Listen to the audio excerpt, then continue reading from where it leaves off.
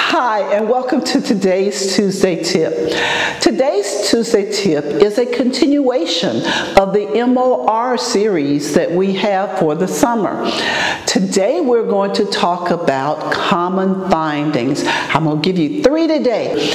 First of all, let's talk about the lease. As you know, the initial lease term is one year. It could be a year and a day, it could be a year and a week, but it has to be at least one year, 365 days. Secondly, I've noticed when I've been out the last two months that we have a lot of paperwork that doesn't have signatures and dates. Make sure that the resident signs and dates and make sure that you as a manager sign and date. And thirdly, if you have a resident that's under 30 years of age and they are receiving Social Security benefits, not SSI, but straight out Social Security, they must have a disability.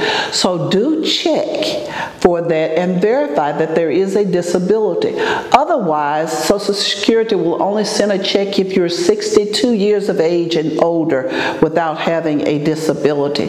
And make sure you give them the $400 disable allowance on the 5-9. Now, I have a favor I want to ask of you. I've had several calls from management companies and even talked to HUD.